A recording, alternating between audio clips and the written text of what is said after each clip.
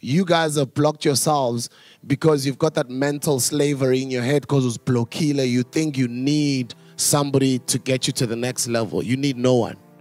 You don't need any radio station. You don't need any mentor. You need no one to believe in you. You can believe in yourself. You can start it. You can go kick some major parts. You can make yourself some money. But you gotta believe in yourself. I know it's not easy.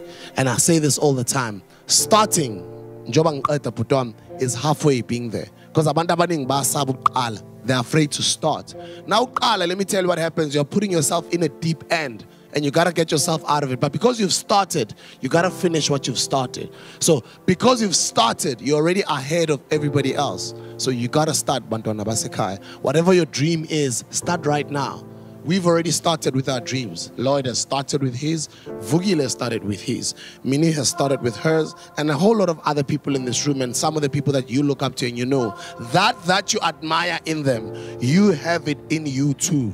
I'm just an ordinary kid from Eka, so if you're faced with a similar situation, you lose a job, you get retrenched, you're a little bit you're getting a little bit older, your friends are getting married, they're buying cars, they're buying houses, you think everybody else is progressing, and you really think it's um, difficult for you. And everybody else that you're measuring yourself by you look at everybody and everybody's progressing. And you're like, what am I gonna do? So whatever you're going to do after then, I think, you know, it shows the true you. Trust me, until you get into that position, you'll know nobody's on your side. Mtanabantu, you're on your own. I'm sorry to tell you this.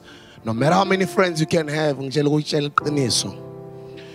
your job, go through nonsense, lose everything, or be on the verge of losing everything. Every, and I mean everything, everything. Trust me, I had a great life. Now, for all of that to just like this. And it's not because I got fired at Metro, I don't have any other means of income. But it's because when that happens, it's in the media and nobody wants to touch you. Nobody wants to be your friend. Nobody's taking your calls. Nobody visits you anymore. And everybody that you thought were your friend, even people that you called your mentors, who you thought they'd be there, they'd probably offer you this, offer you that, give you a bit of money or whatever. Trust me.